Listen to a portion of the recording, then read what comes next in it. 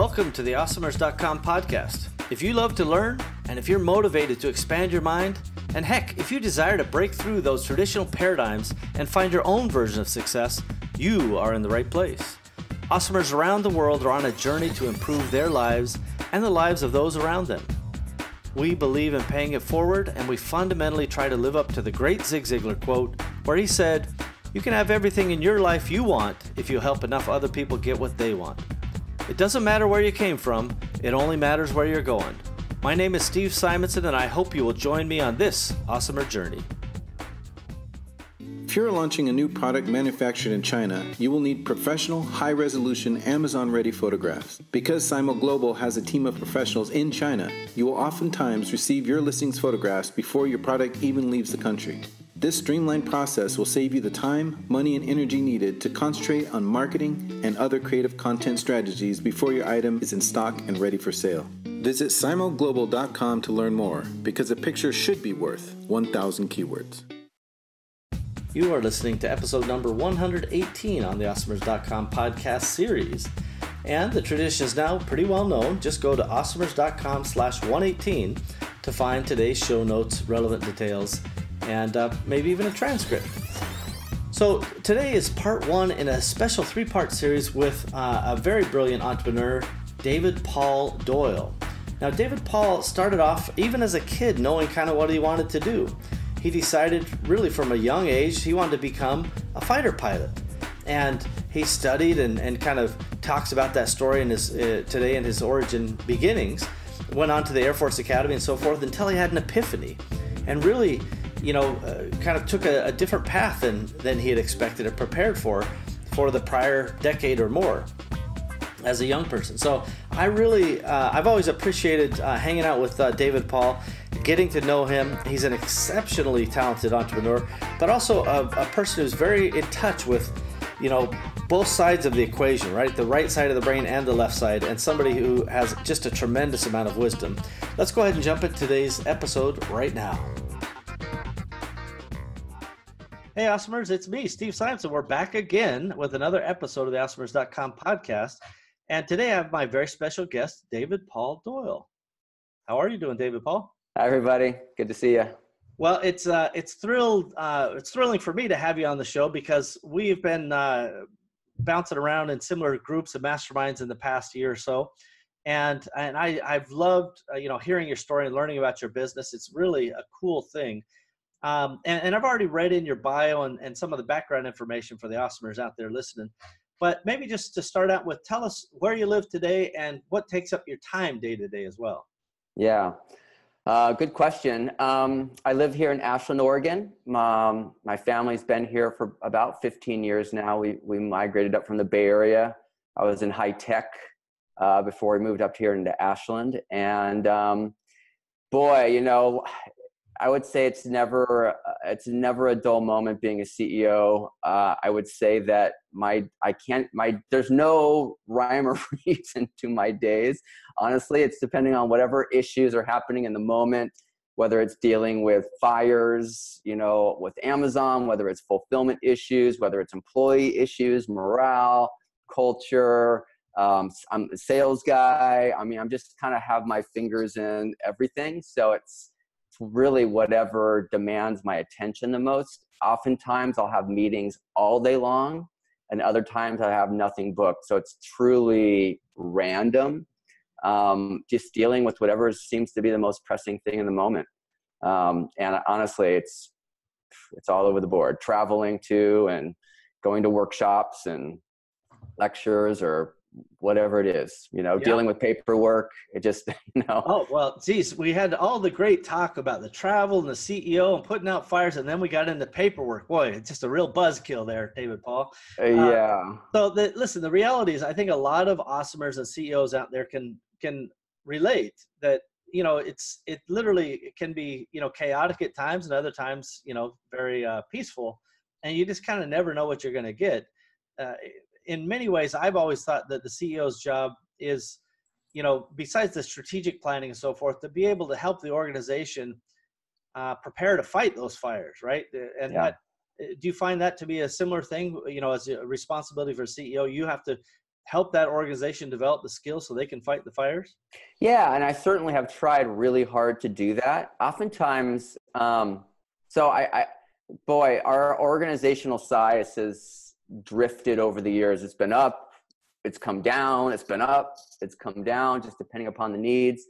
And I would say that, yeah, my job is to prepare them to have the knowledge, the background, the attitude to be a fighter and to go deal with those those issues you know to develop that level of savviness and or resourcefulness to go figure it out without my involvement you know being in the company the longest out of anyone i tend to carry certain kinds of knowledge that can be helpful or insights that can be helpful that i tend to you know amazon and it just you know we obviously we have a supplements company and there's complexities that just nobody can pick up you know in two months six months nine months. It just takes time to have seen every type of forest fire out there to know how to address it or what it is. So i tend to still be a resource for people even though the longer they're here the more they can fight those fires on their own and obviously it's great just to have you know a really capable team to be able to go figure it out on their own even if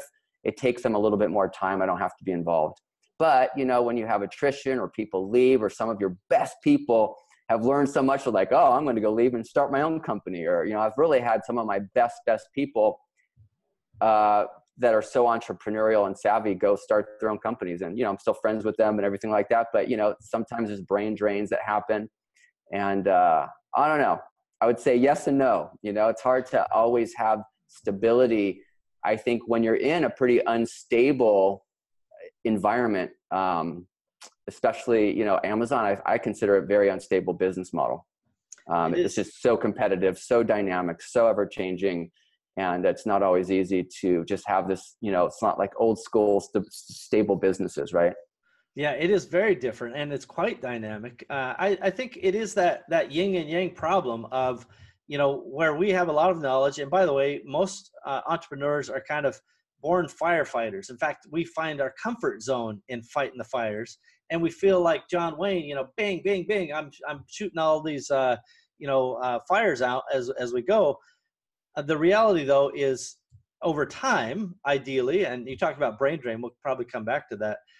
You know, if your team or your systems are set up to, to prevent some of those fires to begin with, right, which is uh, a big part of uh, uh, forest fires, is the prevention and then it's inevitable though that those problems will come up i still think that the fact that our businesses exist is because problems exist right if if anybody else could just do it without problems they would. And and so one of our our advantages is that we can respond to problems and deal with them. Yeah i was i i come so agree with you. And what's interesting is uh, you know i didn't know what you're going to ask me today and i'm sure we're going to talk about lots of cool cool topics. But one of the things when I think about what may, has made us successful all these years, it's resourcefulness and it's the ability to survive, right? The constant ability to just persevere after problem after problem after problem. And really, even if you feel like you just got the crap beat out of you by whatever situation you're in or a competitor or someone like that, just to keep picking yourself back up and just keep going no matter how how many times you get knocked down and really you know i think it's that that spirit of what you're talking about of just your you know the the ability to just keep going and problem solve after problem solve and that you know really i think in the long run you know because i'm going on seven years now it's the thing that uh, not giving up is really where the long-term success is no matter because i think we're all i don't know a single person who isn't constantly doing that in this particular business.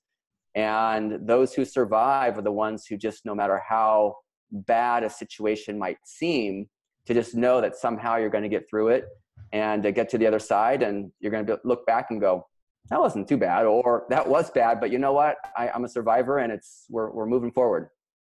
Well, and again, it's all relative, isn't it? Right? You know, we could all be in in one large ditch digging it out and and shoveling, and the guy next to us getting dirt on us and we could complain about that for the next 20 years or we can we've got the the the aptitude and the luck to be in the businesses we're in to be able to solve these problems uh, you know Great. fundamentally our opportunities are are pretty exceptional uh, when you're selling online and whatever way you're doing it.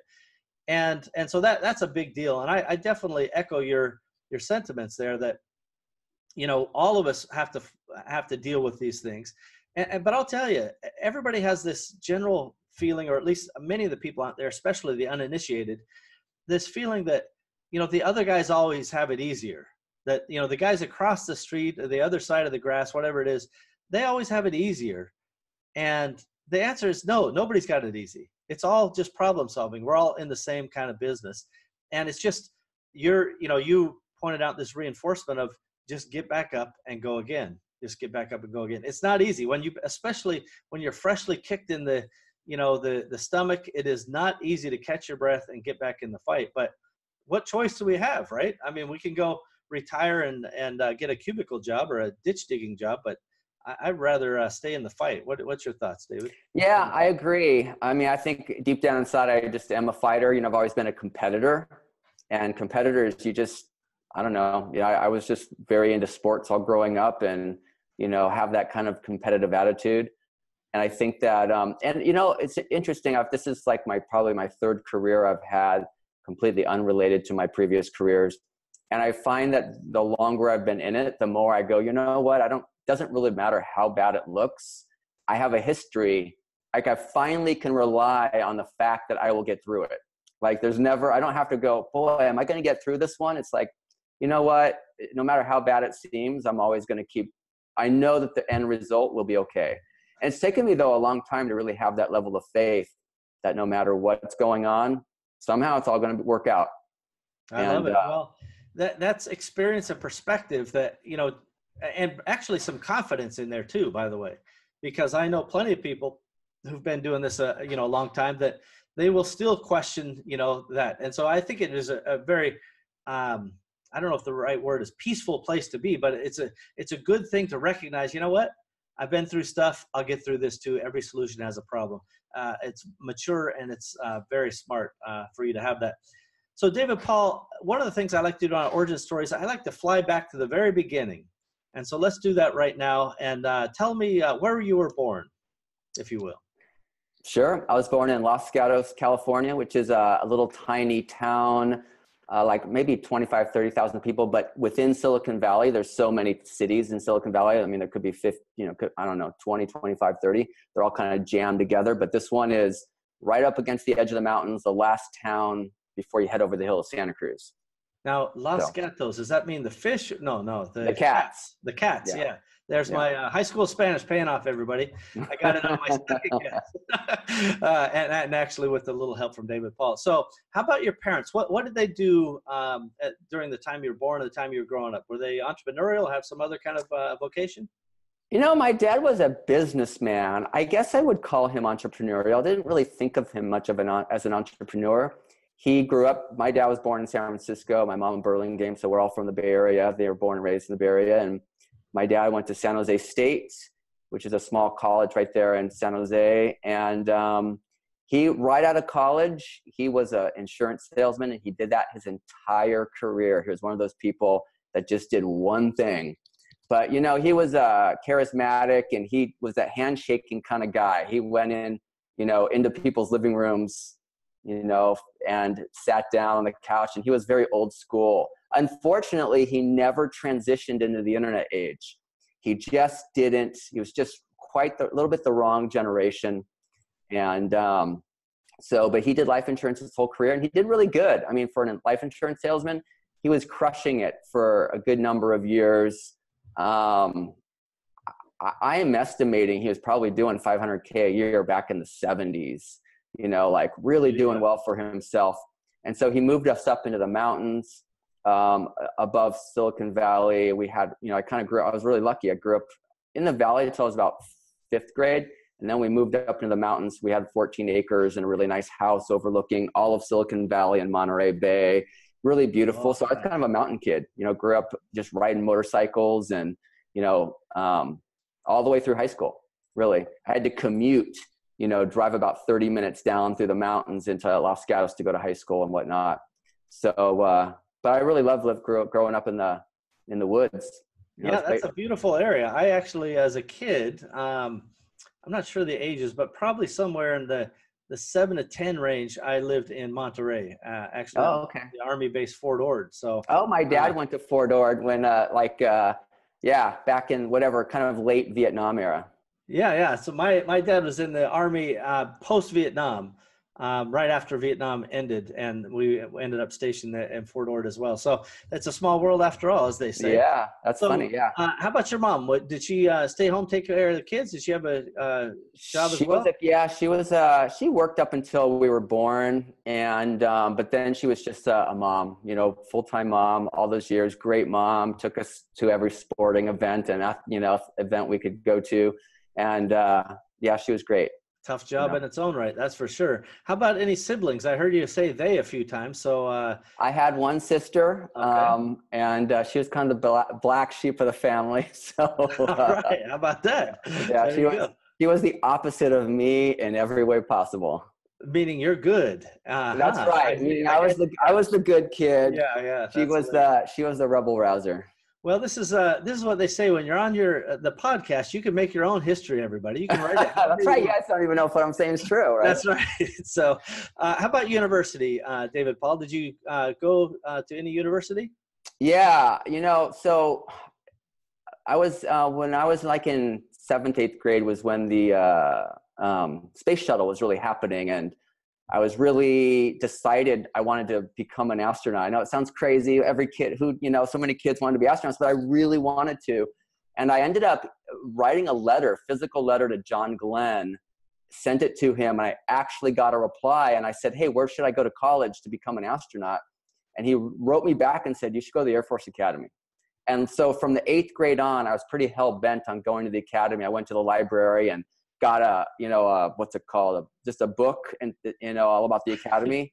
I like this. This is like a little history lesson for millennials out there. I went to the library. This is the place they Yeah. keep books. Yeah, keep going, David. And, and I, well, I just read like, what are the, how do you get in there? And I just kind of set myself up on a trajectory to go there. And, and I ended up, you know, worked my butt off in high school and went to the Air Force Academy right out of high school to become a pilot and, um, you know, to kind of pursue that dream. And so that's what I did. I went to the academy out of high school and, you know, I really loved it there. Um, I, I, I was a soaring instructor while I was there and just really loved every moment of being there, except I, I it was at the height of the Cold War, so this is '89. I was studying Russian at the time at the academy. I took a couple of years of Russian, and I was an international relations major there. And I decided to go. You could actually leave for one year before your commitment. So in all the military academies, you sign your commitment, your papers that you're locked into the academy or locked into the military the first day of your junior year. So after my sophomore year, they had this program where you could take off one year and then come back and sign your commitment. And so I took off and I went and studied in Moscow for nine months. I lived at a university. I worked in the embassy for a few months. And I loved, I mean, I was loving it over there. It was- oh, the, the Berlin Wall came down while I was over there. So it was a super, super exciting time to be over there. So it's like the last vestiges of communism, you know, and, um, but something unexpected happened to me that, uh, I don't know, this isn't really the, the point of this business, but I'll tell you briefly. I was, I had two other buddies, two other academy buddies were with me at the time. And long story short, we were riding in this car only two weeks away from going back to the academy. And so, and I never once the whole time thought of leaving the academy. I just loved what I was, you know, what I wanted to become. But I was sitting in the back seat of this car, and literally out of nowhere, this huge wave of love came over me. And I can't really describe it any than that. It was like I just felt a fit. It was like a literally like a wave hit me. And I had this really life changing moment that this this voice was really clear in my head and just said, Hey, if you were an old man on your deathbed, what would you have done in your life to have had absolutely no regrets? And this was like a really, I mean, very clear moment, completely unexpected, never even remotely thought anything like this.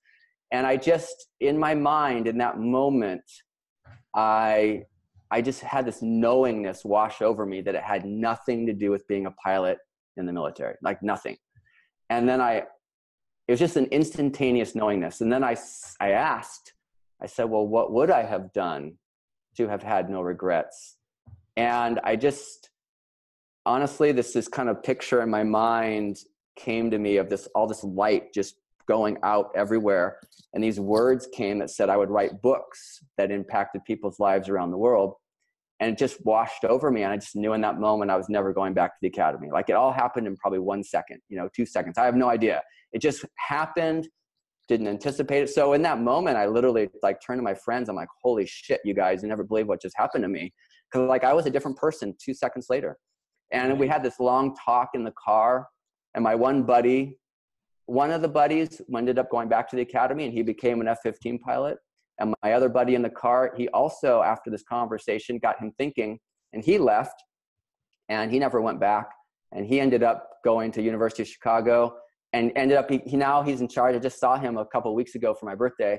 We've stayed friends and um, he's now, in, he's been in charge of the antenna on the iPhone for the past 10 years. He's been at Apple for 10 years and he oversees 25 project managers that are in charge of the iPhone antenna. So that's kind of what he does. Wow. And um, that's and a lot of people over an antenna. Yeah, I know. Big, big part of the functioning of a phone, right? I guess. Oh, I guess I should say all wireless. It's yeah. all the wireless connectivity for the phone. Amazing. So, I, yeah. So anyway, I ended up leaving the academy and went finished up my time at UC Berkeley. So you know, from the Bay Area, and um, so that's kind of a long story to where I went to college, but two years at the academy, and then I finished up two years at UC Berkeley. No, I like that. Uh, I'm particularly interested in that that kind of epiphany that you had. Um, even to this day, it doesn't sound like you have any causational uh, theories. Like it was just well, random, or yeah, it was just random. I really feel like you know I don't know what people's belief systems are, but you know whatever my my higher self, my soul. I don't know what what what that was but to this moment but you know exactly but i just think it was i was on the wrong path. Like you know i feel like i came here for a purpose and that wasn't it. You know i think that was the purpose of a, a seven year you know seventh grade eighth grade young man. But i think in the long run it wasn't really what i was here to do. And so just just to say that i did end up going on to becoming an author. My wife and i ended up writing books for 10 years. So um, just to lead into it um, after I finished Berkeley, my wife and I met, and um, you know we kind of got onto a, a spiritual path. And long story short, we ended up writing books on meditation and emotional mental healing, and we taught that for over ten years.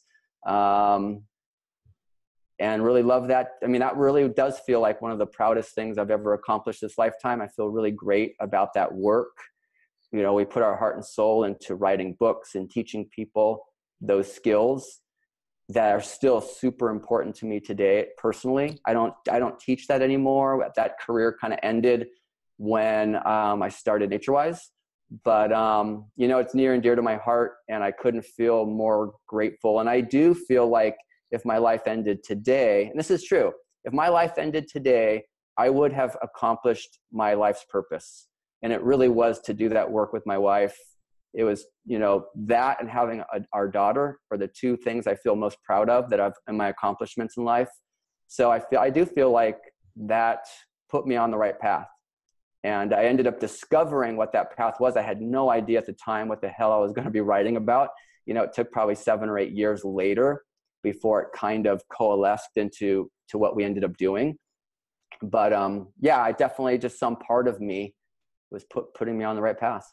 I love it. Well, I, you know, it's uh, that uh, sixth sense, inner voice, whatever you want to call it. Uh, and again, everybody has their own belief systems. They can put their own spin on it. But yeah. the reality is, it got you. That was a clear, defining moment that put you on this path that you are on today, and and you know, subsequent to that time for sure. Uh, we're going to take a quick break. When we come back, I want to dive in more to the uh, the conversation about the the book and and all the things that you and your your at the time new wife uh, got into because know, a lot of entrepreneurs talk about how important meditation is to them, but uh, the other guys who it's maybe not as important to, they don't know how to do it. They it sounds too mystical. It sounds too mysterious in many ways. So uh, I'd love to have you shed some light on that when we come back right after this break. Empowery. The name says it all. Connecting e commerce entrepreneurs with great people, ideas, systems, and the services needed to stay business dynamic and to grow. Empowery is a network a cooperative venture of tools and resources to make you better at what you do because we love what you do. We are you. Visit empowery.com to learn more. So that is part one of our three part series. Join us tomorrow when we go on ahead and carry on further into David Paul's story. Uh, but I, I just like to take a minute to express my gratitude for David Paul, you know, ta- not just taking the time, but sharing so freely and, you know, helping us all understand that everybody's journey is different. And, you know, through adversity and, you know, kind of pivoting and, and all the little variations that go along with it, there's so much to it. Uh, you're not going to want to miss uh, our next two episodes. They're packed full of uh, wonderful advice and excellent life lessons. Uh, so don't forget to join us. This has again been part one of a three part series. And it's also episode number 118 of the Awesomers podcast series. Just go to awesomers.com slash 118 to, to, to see today's show notes and details. Well, we've done it again, everybody. We have another episode of the Awesomers podcast ready for the world. Thank you for joining us, and we hope that you've enjoyed our program today. Now is a good time to take a moment to subscribe, like, and share this podcast. Heck, you could even leave a, a review if you wanted. Awesomers around you will appreciate your help. It's only with your participation and sharing that we'll be able to achieve our goals. Our success is literally in your hands. Thank you again for joining us. We are at your service. Find out more about me, Steve Simonson, our guest, team, and all the other Awesomers involved at awesomers.com. Thank you again.